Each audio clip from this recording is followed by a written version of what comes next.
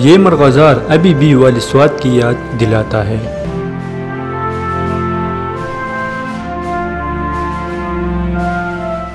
वाली स्वाद मियाँ गुल अब्दुल वदूद बादशाह साहिब के दौर में तामीर करदा इस इमारत को वाइट हाउस कहा जाता है।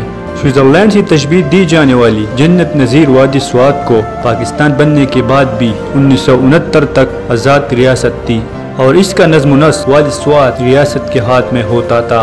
उन्नीस सौ बावन में यहाँ पर पोस्ट ग्रेजुएट कॉलेज तामीर किया गया था, जिसमें लोग तालीम हासिल करने आते थे। उस वक्त जो काम हो रहे थे तो उसके निशानात आज भी स्कूलों, सड़कों और दीगर सरकारी इमारत की शक्ल में मौजूद है, जो उसी हालत में है, यानी यहाँ का एक असासा है। उसमें कोई फ़र्क नहीं पड़ा, क्योंकि उस वक्त उसमें जो मटेरियल इस्तेमाल हुआ था, वो बेहतरीन मटेरियल था। वाली स्वाद के दौर में हर जगह में हर अस्पताल में दवाई फ्री होते थे। इवन की मेडिकल स्टोर यहाँ नहीं होता। सब कुछ सरकारी होता अस्पतालों में खाना भी मुफ़्त मिलता था।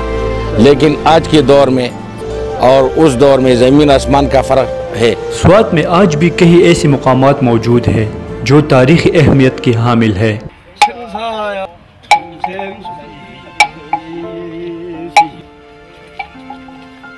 सबक सदर पाकिस्तान अयूब खान मलिका एलिज़ाबेथ और दीगर अहम शख्सियात भी स्वात लुतफानंदोज होने आते थे वाली स्वात मियाँ गुल अब्दुल वदूद जाजेब ने उन्नीस सौ उनहत्तर में स्वात को पाकिस्तान में जम करने का ऐलान किया था